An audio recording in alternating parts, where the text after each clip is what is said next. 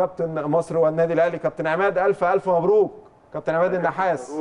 كابتن فاروق كابتن ربيع الف ألف مبروك. أهلا بيك يا عماد.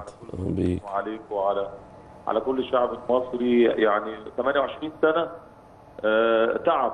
28 سنة من جيل الكابتن ربيع الجيل المحترم اللي وصل لكأس عالم اللي رفع اسم مصر. النهارده الحمد لله برجالة كوبر برجالة آه محمد صلاح وزمايله قدروا يفرحوا شعب مصر بأمانة. الحمد لله. صعب.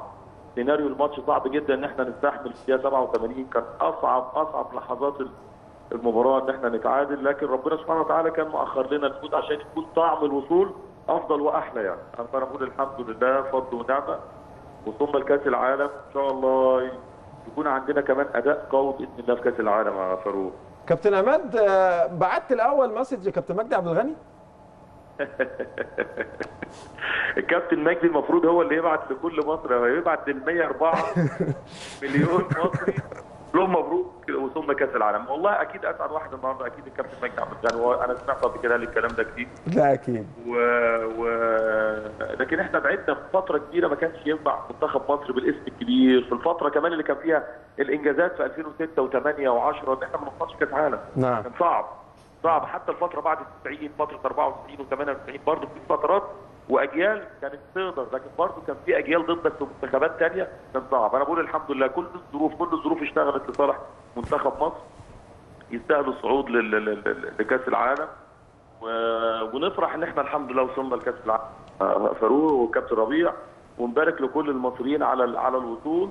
لكاس العالم ونتمنى إن شاء الله نشوف منتخبنا قوي باذن الله في كاس العالم في روسيا. طب كابتن عماد آه، برضو هاخدك آه، يعني أكيد استقبلت هدف التعادل ب- ب- بصدمة زينا كلنا ولكن كان يعني كان هل كان عندك ثقة إن منتخب مصر قادر في الخمس دقائق إنه يجيب الهدف الثاني ويتأهل؟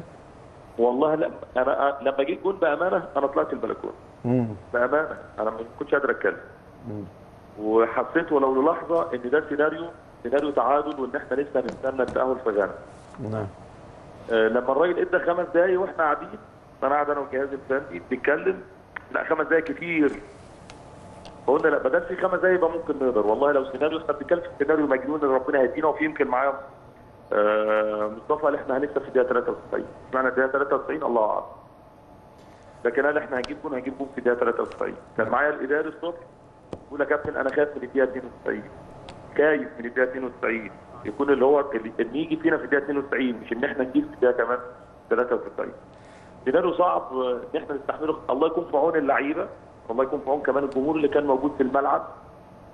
وكمان الناس اللي قاعدة قدام الشاشات إن أنت إزاي تشوف ال- ال- الجول ده صعب صعب صعب جدا. لأن أنت خلاص أنت بتأهل نفسك في آخر أربع دقائق إن أنت أو ثلاث دقائق أنت خلاص وصلت كاس عالم وحلم كاس العالم. أنت عرفت تشوف البينالتي؟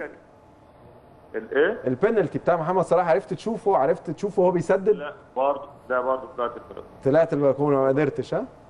آه والله بأمانة صعب صعب وما بالك بقى انت واحد من أفضل الناس اللي كانت بتلعب البنالتيات يعني لو كانت جات لك بقى كانت إيه؟ بص ال ال ال ال ال أنا مش عارف أقول لك إيه يعني أنا بصراحه محمد صلاح يعني الواحد لو اتكلم عليه بصراحه بأمانة شخصية محترمة إنسان على المستوى الإنساني مش مستوى الكورة ربنا سبحانه وتعالى بيكافئه هو. وبيكافئه هو في ال 104 مليون مصري كانوا بيشجعوا مصر النهارده. المتمثله في في وجود محمد صلاح مع الجيل ده.